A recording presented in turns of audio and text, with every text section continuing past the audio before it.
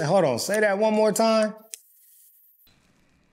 In September of 2011, Big Meech requested CS1's help coordinating delivery of a load of cocaine to be controlled by Suarez. Shalom, and you're now locked in here at Israelite Talk TV where you get nothing but the raw and the real whenever I'm in front of the camera. So make sure y'all show the page some love, like, subscribe, and share. Shalom and greetings, and welcome back to another episode here at Israelite Talk TV where you get the full 100 whenever I'm in the building and no paid media points.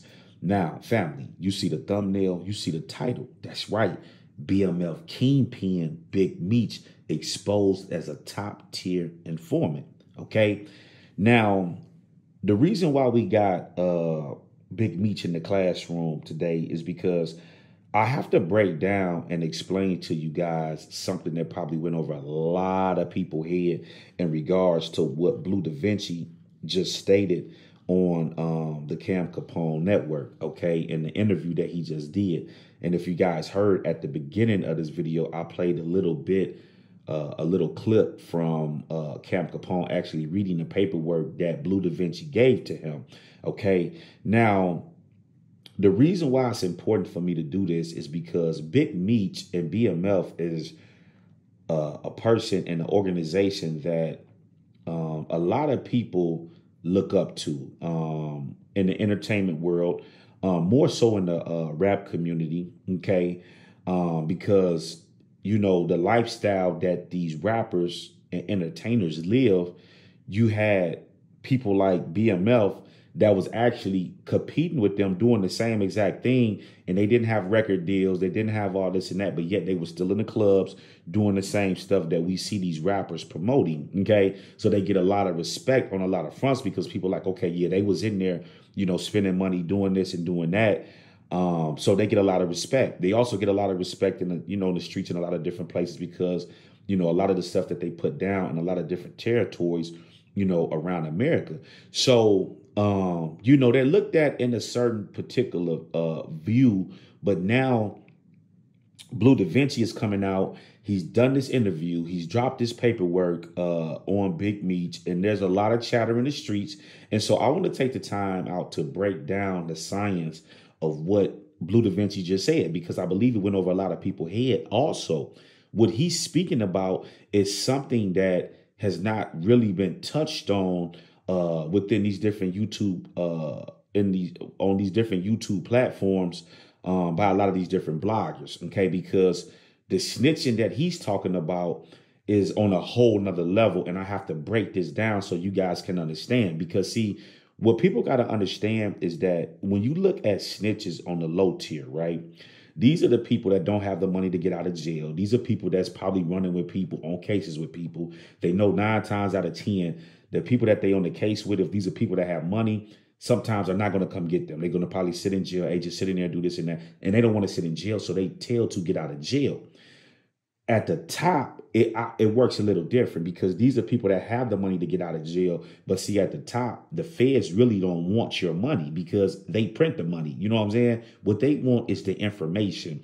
And so these people that sit at the top, they don't want to leave the million dollar lifestyles that they are accustomed to living, you know, the mansions and the things like that. So what they do is they tell to get out of trouble and to, you know, cut their sentences in half because they actually have something that they can go home to once they get out of jail. You know, they have the cribs, they have the money, you know, they have the vehicles. They just got to get out of jail.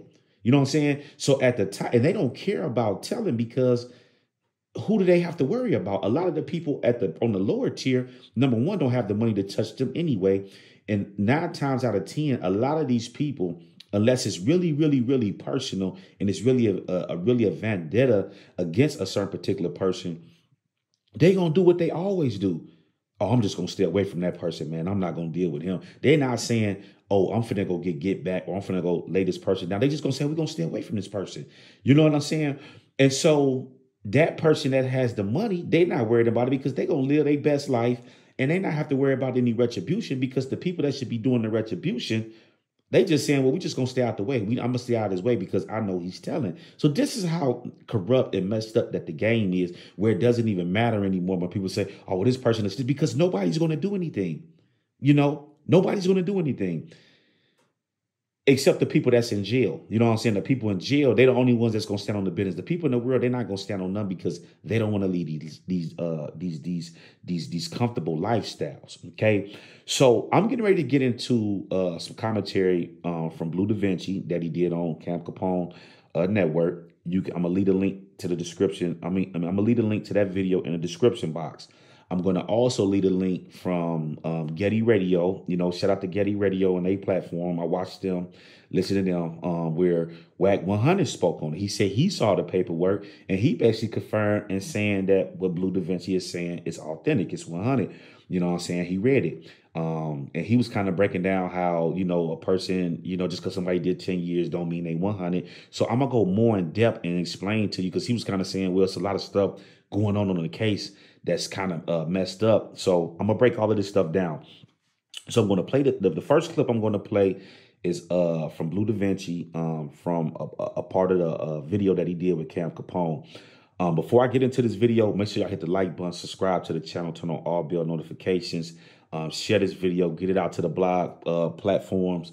Um, and also go follow me on Instagram. Go run me up on Instagram, okay? Because I'm gonna be going live on there too, uh, coming up soon. So now let's get into the first clip of uh, Bleu DaVinci, and then um, I'm going to come back with some commentary of my own. Okay, let's go. So I'm like, oh yo, Meech, what's up with this with the move with the TV show? Like, where y'all at with that? He like, oh man, it almost done. The contract almost done. It's almost done. We're gonna be starting. They're gonna be, you know, starting to um cast it or whatever, whatever, right? He's like, I just gotta wait to holler at Tammy before you know what I'm saying? I know where we at with that. And Tammy is a government informant. So when he said that, I was like, Tammy, what you mean, Tammy? Like, nigga, you ain't heard what's going on with her? And they were like, shit, nigga, I heard some shit, but whatever it is, that shit ain't got shit to do with me. And he was like, man, I'm gonna hit you back. I'm like, all right, that's the last time I ever talked to him. The first, now this first little uh, excerpt that I just played uh, from Bleu DaVinci, right? He goes on and he was speaking about uh basically the last time he talked to Big Meech. And and um from the sounds of everything, because we gotta analyze everything from all angles, right? So it sounds like at this time, now I don't know if Bleu DaVinci had the paperwork at this time or whatever the case may be, but it sounds like he knew that this woman, this this Tammy, uh, Cowins was an informant, right? Because he he he tells us that he told Big Meech this on the phone.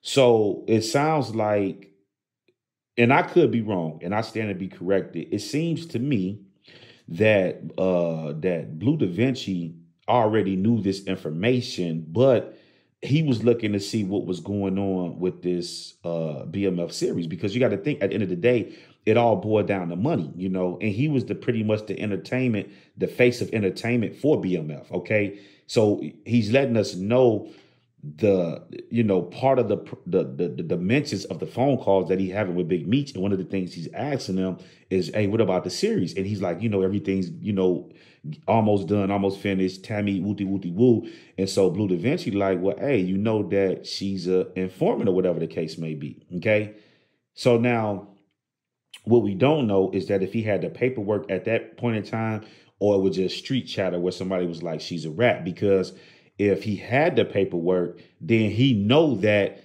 um, as we getting ready to listen to here in a minute, that in the paperwork, it tells us that uh that Big Meech basically used old girl to set up a play, her assistants to set up a play to set some people up. So if he had that, then he already knew that Big Meech was, you know, he was hot or whatever, and he's basically was in still in this thing for the money uh, that was going to be made off the BMF uh, series, in which he got xed out of. Okay, but at any rate, what he's telling us is that he basically spoke to Big Meech and was like, you know, a girl is a rat and wooty wooty woo, and he was like, well, whatever she did, it has nothing to do with me. Okay, now make a mental note of that because, like I said, I'm getting ready to come down, come back, and break this down, right?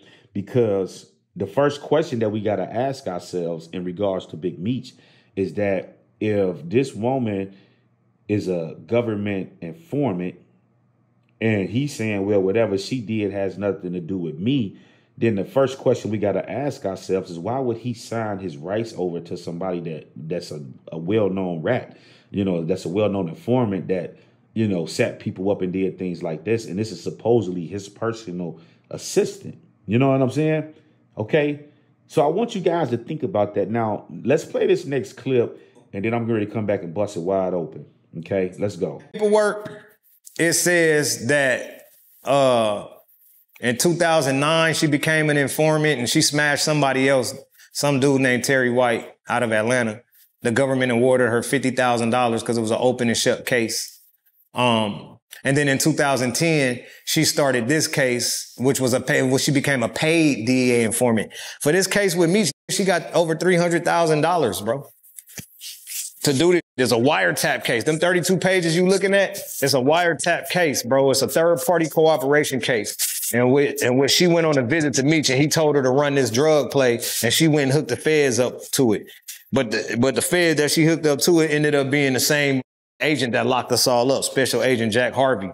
So now you start connecting all the dots. Oh, that's who put Meech in jail. So it's looking like Meech put him with his personal assistant slash person that he's doing all, his business for him. She did the legal business for the movie shit, but she also did the dirty business for him too on the other side and got paid to do it. She wasn't in trouble. She wasn't in the feds in jail. She's not a co-defendant or any defendant of any kind. She's just a regular working middle class, I mean, middle aged lady. You know what I'm saying? And she did it to get that nigga out. That's what she did it for. She even said it on the stand in the paperwork. It tell you in the paperwork. She said she did it to get Meech out. She tried to say he didn't know or whatever or something, but it was too late. She had already told everything. She started fucking the agent and all kind of shit. Y'all just gotta read it, man. She like a love story.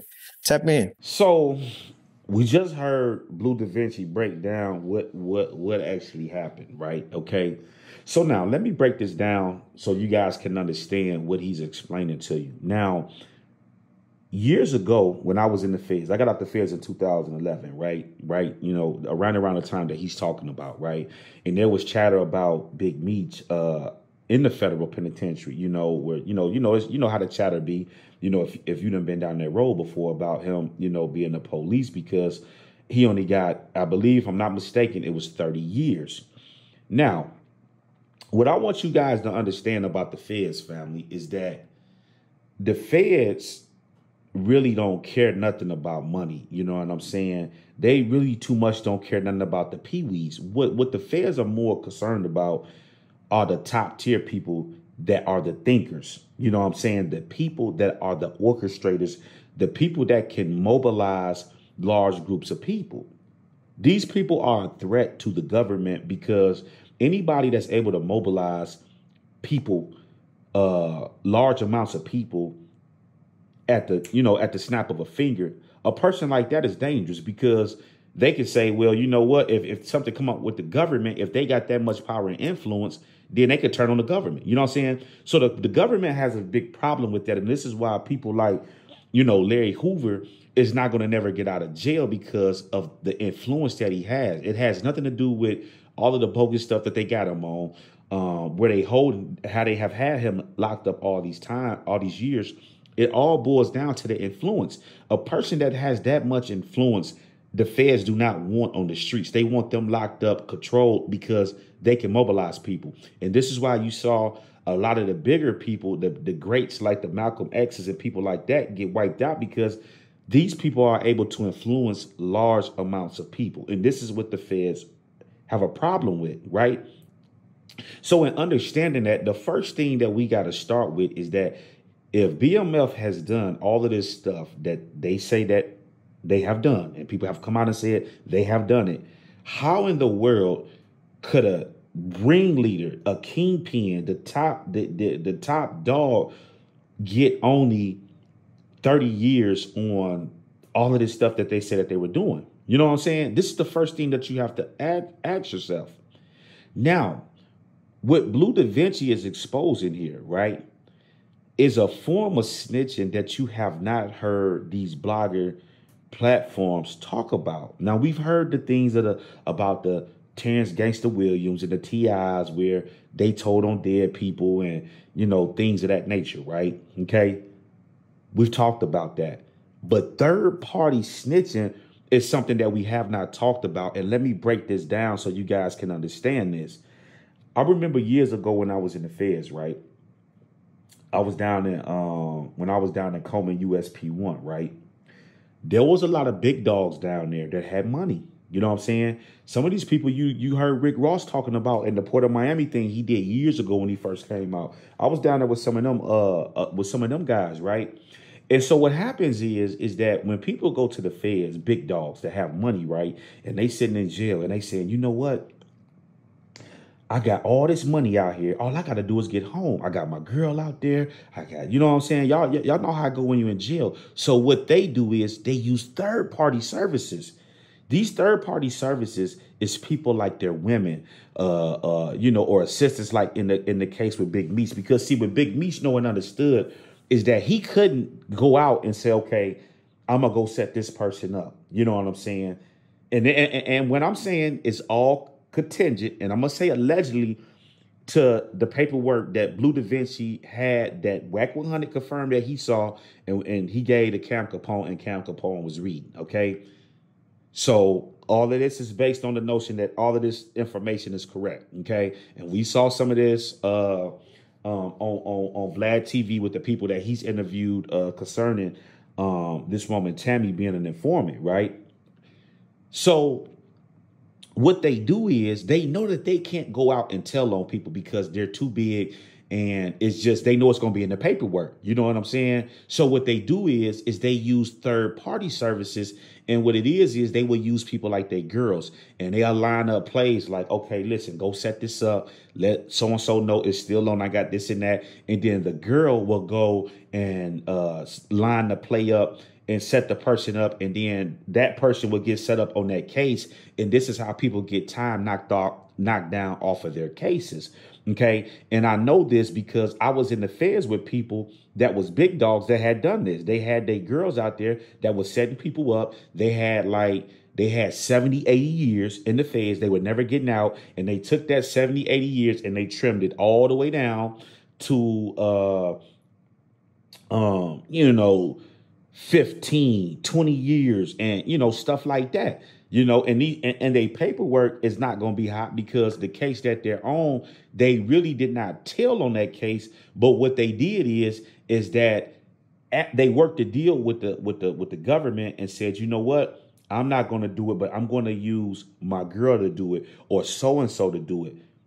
So then that way that heat is on that particular individual and you get the credit for it because you lining it up and these are you know might be people you know or whatever the case may be but the girl is the one that set the person up. You know what i'm saying? So it get tricky at the top and this is from what bleu davinci is saying this is what big meech has employed. This is how he got the 30 years or whatever however much time he got. I believe it was 30 years you know what i'm saying where he would still be able to get out of jail you know what i'm saying but he had to help the government. He's not the only one that has done this but there's several people that have done this this is what they do. This is how they keep their name out of people paperwork. And this is how they get all of that time knocked off. You know what I'm saying? Because when you're in these federal penitentiaries and you've already been sentenced, it's no need for you to be going back to court and stuff like that. So people already know when they're going back to court, they're getting them downward departures. You know what I'm saying? Oh, I got to go back to court. You going back to court on what? If it ain't like on appeal or something like that, then you know what I'm saying people already know what's going on. You know what I'm saying? So at the end of the day, fam, this is what's going on with this case. Big Meech used a third party service, this assistant. And then the question we got to ask ourselves is why would he sign his rights over to the out of all of the people he could have signed his rights over to, why would he sign it over to the informant? Because the informant was the one that went and did the work in order to get him out of jail. This is why he did that. You know what I'm saying? And then and then now listen to this, fam. Now check this out, right? This is how you know that the game is corrupt, right? Because 50 Cent still went along and did this contract with this woman that is a government informant that has set people up, right? You know, people talk all of this, oh, well, this person is a civilian and this, you know, like they they always want to move the goalpost, right? Listen, a person that's a civilian is a person that's minding a business, walking up the street, they see a crime happening, the police say, "Hey, did you did you see what's what's you know what what's going on and you know with this case or whatever the case may be? And the person say yeah it was a person had this that that that that. This is the person and yeah i'm going to point this person out on the lineup that's a civilian. A civilian is not somebody that's lining up a play okay? That's lining up a play for uh you know what i'm saying for the for scarface you know what I'm saying? You coming and making a purchase, they got a wire on, they got you set up, and you make a and you and they make the play and you get busted. That's not a civilian. You know what I'm saying? That's not a civilian. This is a person that's involved. If this is his personal assistant, fam, think about this. If this is his personal assistant, she knew that this guy has been selling drugs all of his life. You know what I'm saying? She know where this money is coming from. She know that this man didn't work no nine to five and you know do all of this stuff to acquire all this money. She knows that he's getting this money out the streets from selling drugs. Okay, this is not no uh no no no uh, uh no no no no citizen uh what what uh no um no civilian as they say no, you know what's going on. Now, your job as an assistant is to do business on the on the front end with people like the 50 cents of the world and things like that. But on the back end, you know exactly what's going on on the back end. So this is not no civilian. This right here is what's known as the ace in the hole. Man, baby, you know, all right, you know what? This is what I'm gonna do. I'm gonna get you out of here. I'm gonna work this, wooty wooty woo. All right, cool, boom. This is what's going on. So this is not no civilian. So 50 Cent, and I want you guys to understand this because if 50 Cent can do business with a rat and, and, and, and do this and publish this series, then why was people crying and complaining about artists doing business with six nine? What should it matter? What should it matter? So this shows you, and and I'm not, a, and I'm not and and I'm not rooting for six nine or uh, or see my thing. And let me explain this to you. The, the, the problem that I have with snitches is people that have done uh, crimes and they tell on people to get out of the crime because it doesn't excuse the crime that you did. You still broke the law. It's not like you're just a civilian. You saw something and you gave information on it and say, yeah, I saw this dude breaking in the house or whatever the case may be. And you don't have any charges and you're not trying to save your tail. You just being, you just, you tell them you, that's a civilian. Okay. A civilian is not somebody that's going out here getting involved in crime, breaking the laws, and then turn around and tell on other people to get out of the crimes they've done. This is the problem that I have with snitching. You know what I'm saying? Not the fact that somebody's telling, but the fact that you you you broke the law just like somebody else. And because this person didn't tell, they got to do 20, 30 years. And you would have did the same 20, 30 years, but you wouldn't told. But it doesn't take from the crime that you have done. You know what I'm saying? That's the issue that I have with snitching. You know what I'm saying? If you if you're not telling to say you're behind and you saw something and something happened, that's different because you haven't committed any crime and you're not trying to save your butt on nothing that you did. You just saw something and you know what's right is right and what's wrong is wrong. So at the end of the day, 50 Cent did business with this rat. But then when it comes to down to six nine, and like I said, I'm using six nine to balance everything out because if people are gonna come out and say, well, they shouldn't have did this with six nine, he's a rat. Well, what about all these other people? Why do 50 Cent get to sit down and do business with a woman that is a known informant that has set people up? This is not no civilian. You know what I'm saying? This is a multi-talented top tier informant. These are people that's dangerous because these are the people that know what's going on on the back end, and then they got the they got this fake face in the front. They can do business in the front with people, but then they're setting people up. You know what I'm saying? These are people that's dangerous. So at the end of the day, fam, this is what's going on. Uh J Bo, and I'm going. I'm going to play this clip. Let me play this real quick, family. I'm gonna play this clip. Right, listen to this right here. Me personally, I never seen no paperwork on Bleu, and prison rule. If you don't have paperwork, really don't bring the shit to me. But it's a difference when I'm the paperwork. So now, once again, the issue that I'm having with J Bo is that you already know what the street rules is, right? And this is the problem I got with these so-called street dudes. And this is why we got to talk about this. If you know that you need paperwork and you don't have any paperwork, you talking about you, the, you're not the paperwork because you cannot say that he said this, he said that, he said this, or he said that. You knowing like, okay, man, I think he telling or I or some is not right about some is not actually proof that this person told on somebody, man. See, there needs to be some form of paperwork that's showing that this is what this guy said and this was his statement. They don't have that.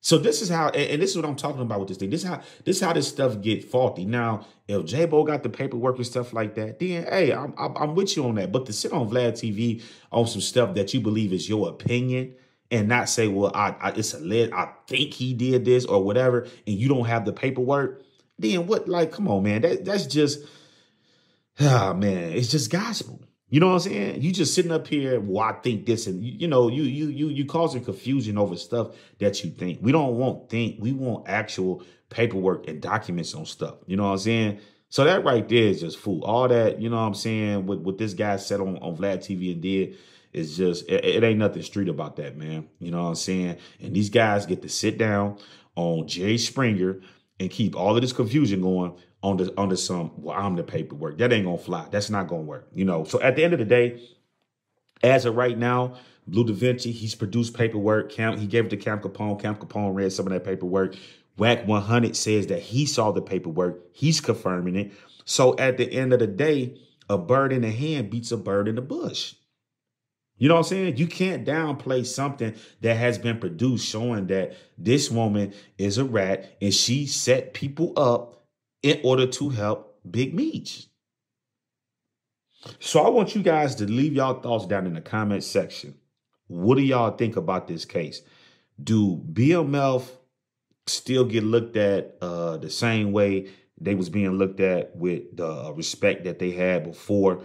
Or now is do they fall in the line with the J Princes and all these other people of the world that have had the ability to hide behind entertainment, behind the machine. Because you got to understand, once again, the the internet is not as popular. I mean, wasn't as popular then as it is now, where we're able to reach people in these different neighborhoods at the drop of a dime. You see what I'm saying? And get the information that we need to get without having to worry about getting stuff through the vibe, getting stuff through double XL, and you know, all of these platforms that we have been that we had to get it from back in the day. Now we could talk directly with the people involved in this stuff, the people in these territories. So now the truth is the truth. You don't get to hide behind the entertainment business and you know the, the machine because people got access to you now.